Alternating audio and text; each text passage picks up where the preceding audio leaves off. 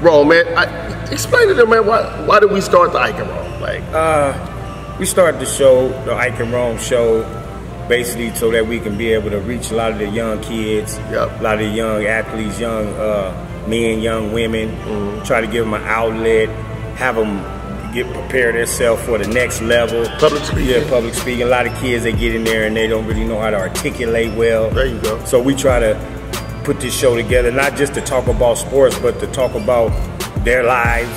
Very seldom do I, Ike and Rome show that we get into deep into their sports or different Stats. things they do as stats because most people know what these athletes some do. some people you can just You know. turn on the TV or like grab a Right. local newspaper and get the stats. Somebody running Right. for 400 yards. That's good. Right. We'll, we'll talk But about most people that. don't know what goes on the daily, Life. day to day life of one of these athletes. There you go. Uh, single, some of these parents, some of these parents are single parents. Yeah. You know, some of these athletes, some parents are pulling their kids from uh, miles and miles away to take their kids to school. You know, it's a lot of different, uh, you know, challenges every Dynamics. day that Yeah. they get up and do different little things. But the best thing about it for me was doing the show was to meet a lot of great individuals, a lot of great young men, a lot That's of right. great young women in our That's right. community, being able to talk to them. That create that that platform where you can like improve in life, man. Right. Get better.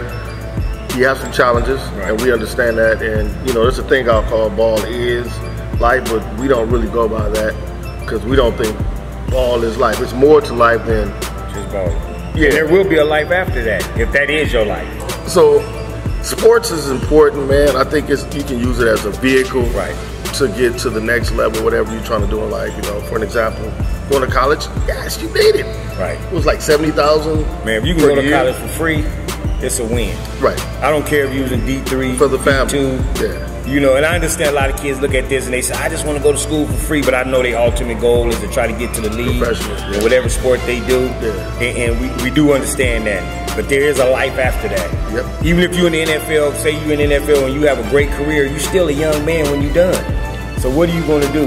You know, we try to let these young men know that there's more to it than just And young women, sports and Yeah, young yeah, women. yeah, yeah. Absolutely. We even we even had we even will have like athletes that come on the show that probably you know will major in communication. Right. Uh, one of the first young men that we allowed to work on one of our shows years ago was a young man by the name of Darnay Holmes. Uh-huh. He's currently at I think it was at UCLA. UCLA, yes, Just graduated. Congratulations, Darnay. Three years too, right? Yep. Yep. Wow. Went to Calabasas High School. Yeah. Uh, dad played in the NFL.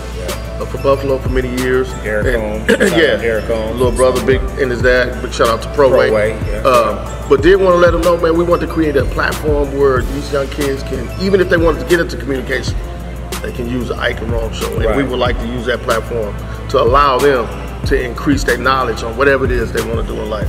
That's our mantra. That's our mantra. Win in life. Win in life. You gotta win in life. Gotta and, win in it, life. and it comes through Hard work. Yeah, hard work. perseverance, There you go. stride. You got to keep going. You know, falling down, getting back up. You know, all these wonderful things that people say. These different little models that we use, or quotes that we use to try to, you know, make things greater or make ourselves better. I guess.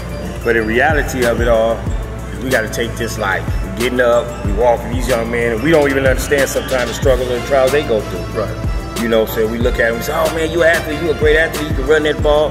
But we don't know if he ate that morning. I'm not saying we, other people don't know if he ate. So when we talk to these young people, we try to It's bigger than just get in depth. some, we want to know some people out there really all they care about Right. is the sports. Yeah. And with us, we really have a passion for their family. We want, them, Right. to, want them to do well. Right. And it's not just because Ike and Rome wants to do well. We just we think everybody should have an opportunity. Well, we're a family. We're a family show. Yes, we are. You, you can't come on. This not. I don't think we had one show where we brought in just an athlete. Unless they were older athletes, you know, maybe junior college, things like that. Right. But if you're in high school youth sport, we always made sure you brought the parents in. Right. That's what we believe in, and we set the parents down with the athlete. And we talked about their daily struggle. We talked about their challenges. We talked about their wins, their losses, you know, their ups and their downs. Because we really want the people that's listening to the Ike and Rome show to understand that it's more than just sports. Yep. That it's a lifestyle too. And we want we want you guys to understand that we family. We um Right. Uncle Rome, Uncle Uncle Ike. Ike. That's how we Rome do it. show, you know.